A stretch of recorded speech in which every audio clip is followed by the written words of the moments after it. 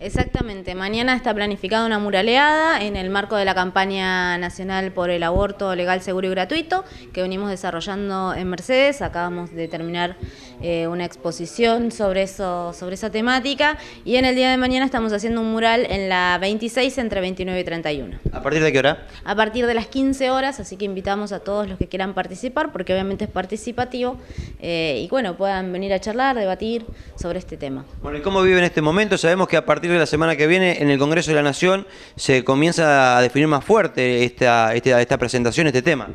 Bueno, nosotros estamos muy contentos porque este es un debate que, hace, que se debe a la sociedad hace muchísimos años, es la séptima vez que se está presentando en el Congreso. Bueno, creo que es un momento que es muy bueno y lo más importante es que el tema de la despenalización y legalización del aborto eh, ahora es un tema de la sociedad. Ya no ha quedado retaseado, digamos, a los grupos feministas. ¿Ven, madurez en este tema en la gente, en los políticos?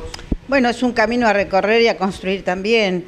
Eh, sí, lo que percibimos es que eh, al explayarse el tema a todos los sectores de la sociedad, esto va construyendo, digamos, esto que nosotros queremos, ¿no? Estar a favor siempre de la vida y que hay aspectos, mm, este, conceptos, ideas, de las cuales también tenemos que ir, o digamos, descartándola abiertamente, eh, hablando de lo que es eh, este, el concepto de persona, la integralidad que tenemos las mujeres como personas y los derechos que nos asisten como personas.